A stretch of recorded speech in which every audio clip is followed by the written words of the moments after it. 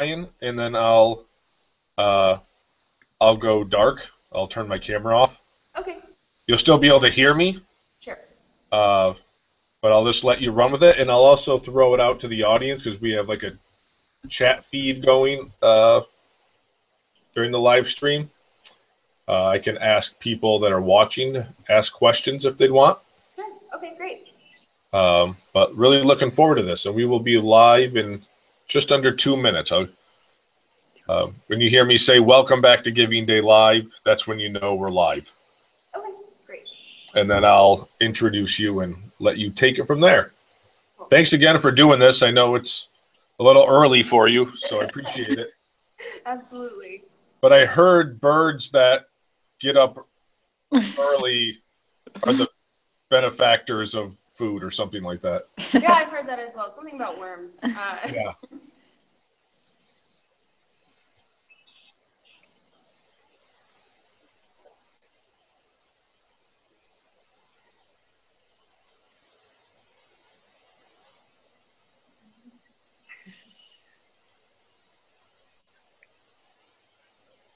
Think I just need, I'll just stay silent because like, 'cause I think it would be super weird if I was talking off camera. So I could ask you questions, but that would be weird. yeah. Okay.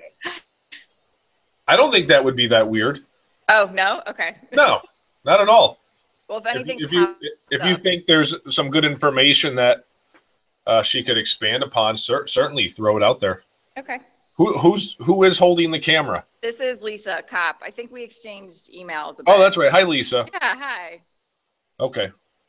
Um, and then Ryan and I were talking about um, if like she doesn't go the full hour. Normally our tours last, you know, 40, 45 minutes, and that includes some questions. Is that is that going to be an issue of any sort?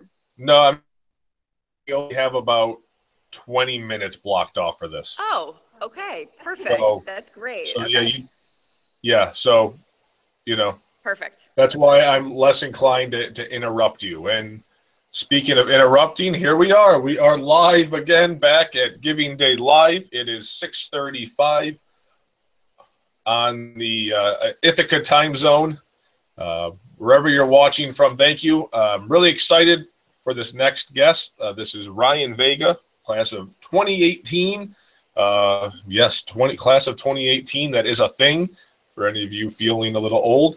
Um, and Ryan is going to give us a, a little tour around the lab of ornithology. So, for all the birders out there, this one's for you. Uh, I'm going to provide minimal interruption for Ryan's tour. Uh, but if you have questions, the viewers, uh, you'll notice uh, uh, a chat box right, a, right around here, uh, down down in that vicinity, I believe. Click that chat icon and send in your questions, and, and we can relay them to Ryan. Uh, so, Ryan, without further ado, uh, I'll let you kind of introduce yourself and take it away. Sure, thanks. Uh, so I'm Ryan. I'm a sophomore here at Cornell. I study animal science. I'm an education minor. Uh, I work here at the lab as a program assistant. This is my second semester uh, in this position. So I'll start off just by, first of all, welcoming you to this lab. um, I'll start telling you a little bit of our history for those of you who aren't familiar.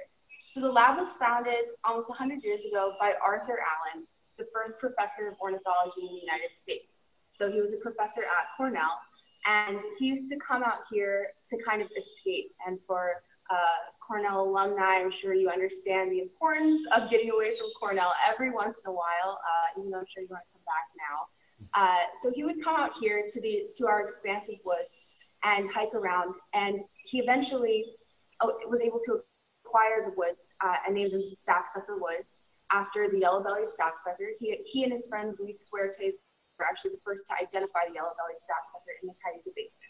So he was able to obtain these woods and later establish a, facility here, uh, which is over where our small feeder garden is now. I don't know. So, uh, so the first facility was actually where our feeder garden is now. And then as we began to acquire more staff and the lab grew, we started to put uh, other buildings in this general lot. Uh, and this continued and for, for quite some time. Uh, we ended up having about 12 buildings just scattered around this expanse, including some mobile trailers. eventually some of our employees no longer wanted to work in mobile trailers. And so in 2003, we opened this building. Uh, we're very proud of it. So we're happy to have you here uh, on our virtual tour. um, so just as you're noticing our facility, I'm sure you'll see we have a lot of artwork throughout. Uh, and feel free to take all of that in, I guess. Um, so just some things I'll point out as we're going along.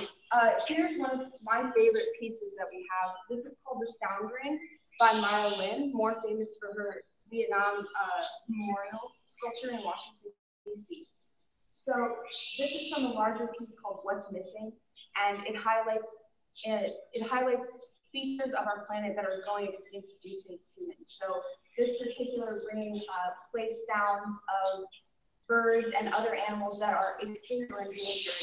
Uh, and this was inspired by our Macaulay Library, which I'll talk about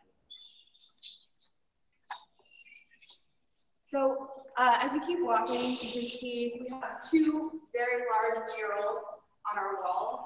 Um, I'll first talk about Jane Kim's mural. So this is called, yeah, I'm just, I don't know if that'll fit. Uh, so this is called From So Simple a Beginning. Uh, it's by Jane Kim, a former Bartels Science Illustration intern here at the lab. We commissioned her to do this, and it's actually the first mural that depicts every family of birds uh, that is in existence right now. Uh, it follows all the way from, it follows the evolutionary journey of birds all the way to Tiktaalik, which was the first uh, fish with that developed limb-like structures all the way through to uh, what you're seeing now. And all of these birds are actually life-size, so if you come to the lab, you can see how you measure up against a wandering albatross or a kakapo parrot. Uh, so, and you can also find this mural online. We actually have a really cool interactive you can go to on our All About Birds website uh, that can take you through every single species that we have depicted here, uh, which is pretty interesting. And if you want to notice our other mural, this is called The Wall of Silhouettes by James Prosek. And it highlights five different habitats and species that are identifiable not by their color. Uh, as you can see, uh, there's all, all of these are only silhouette, which is very interesting because it shows you the importance of being able to identify species based on morphological differences rather than color. Uh, and I always get guests saying they can't find a single bird, but I'm sure if you actually uh, look closely, you can identify more species than you think. Uh, so this is wall silhouettes. And you want to head, if you want to go to quickly. Uh, so this next room is the Fuertes room. As I mentioned earlier, Arthur Allen had a good friend, Louis Fuertes. Uh, Louis Fuertes was actually the second most prolific bird illustrator in the United States, uh, second only to James Audubon, but we also have some of his work, so uh, we're not to be bested. So this is a study that uh, Fuertes painted for one of his good friends, and so this is actually uh, taken directly from the friend's home. And so these are all the original works. And all of these paintings have something in common. And most people can't guess it, but it's actually hunting. So Louis Fuertes' friend was a very uh, avid hunter. And so all of these birds are either common game species or they're birds known for their hunting skills. So one of the reasons that we have such a close tie with art here at our lab is because art has always gone hand in hand with science. You know, before there were cameras and uh, other ways of getting pictures of observation, scientists had to draw what they saw. Uh, in fact, some, some scientists even hired illustrators to come with them on trips to make sure that they were getting uh, accurate depictions of everything that they found. Also, the world of birds is beautiful. Uh, there's no denying that there's beauty in,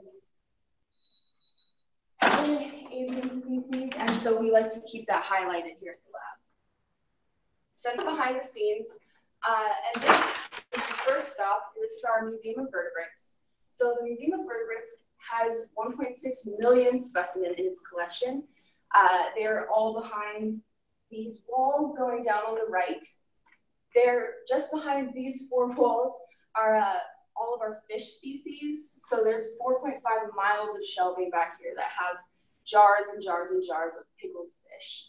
Uh, it's the director of the lab actually called it a, a library of fish. Uh, if you can imagine, we have our sort of Dewey Decimal System that we can find these fish through. And uh, there's very important reasons that we have this kind of collection. So first of all, this collection is very important for studying evolution and studying uh, morphological change.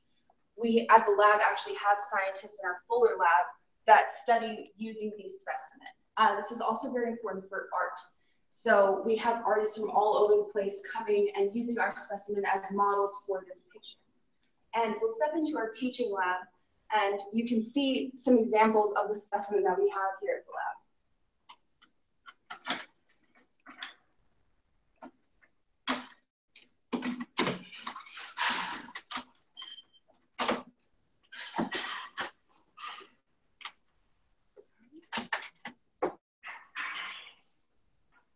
Our teaching lab. Uh, this is sort of an extension of the Museum of Vertebrates.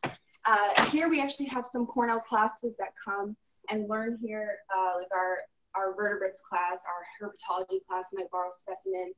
Uh, and as you can see, just from kind of looking around at what we have on display, a lot of these specimen are preserved for, for display. This is not the kind of uh, setup that we would have back behind those walls, just because these take up a lot of space. Most of our, like for instance, our birds are stuffed with their wings pinned down to them uh, rather than like perched on a branch.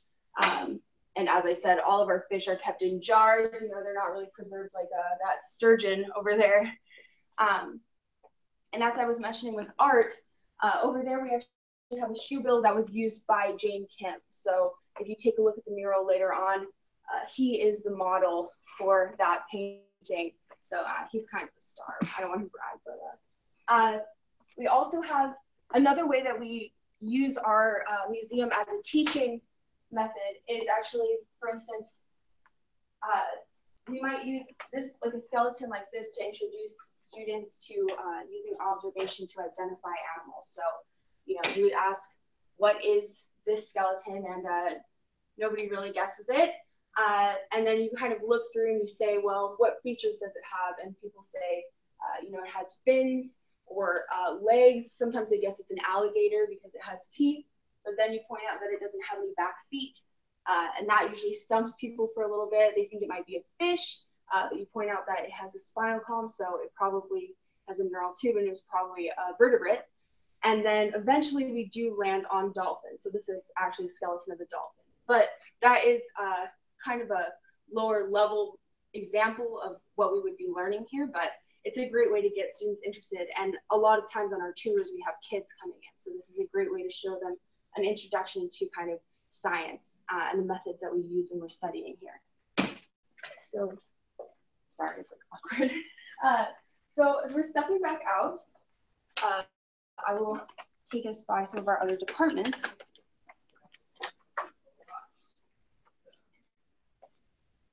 So we'll stop quickly and talk about one of my favorite parts of the lab of ornithology. Uh, this is Ralph.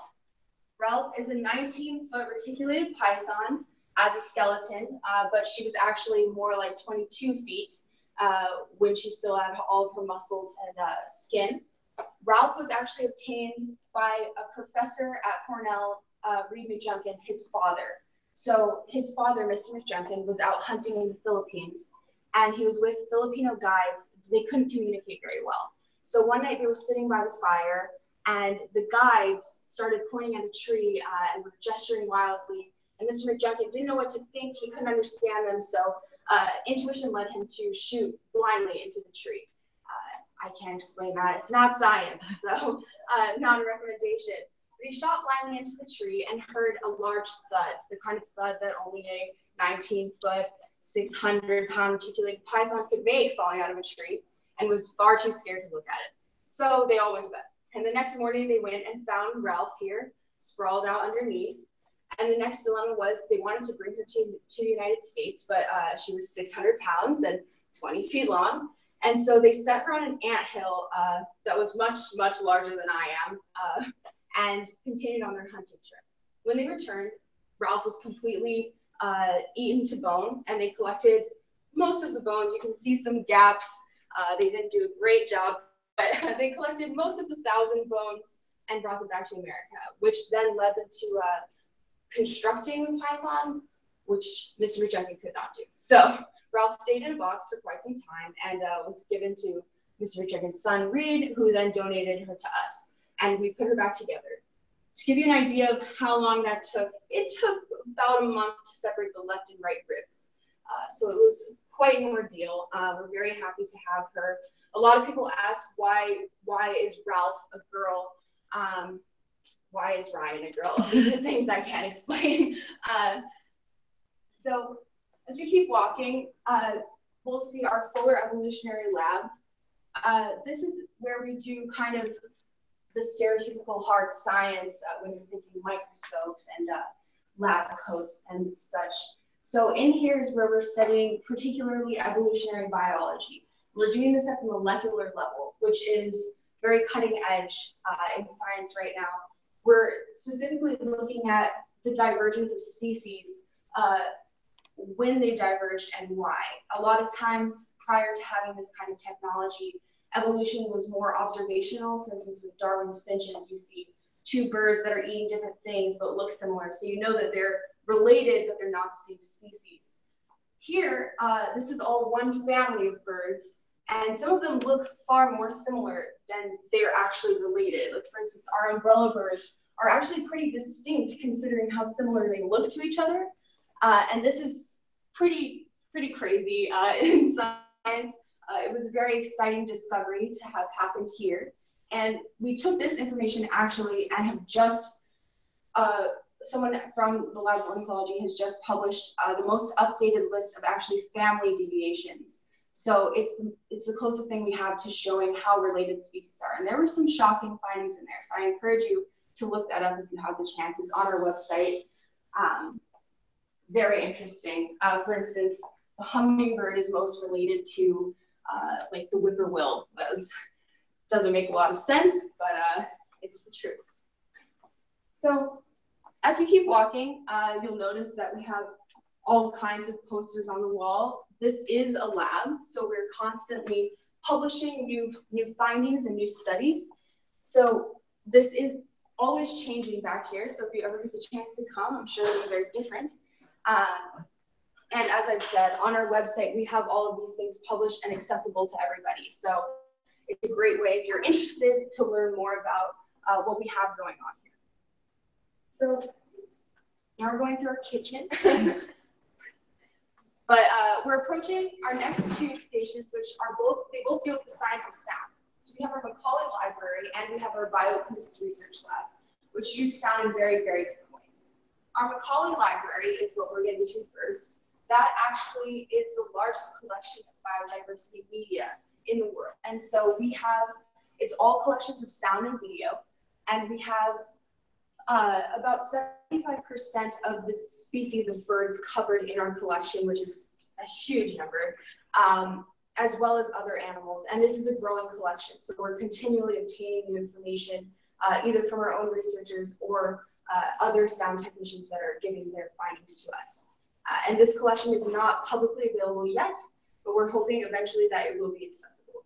Uh, on the other side, we have our bioacoustics research lab. And so this is using sound uh, through to as conservation.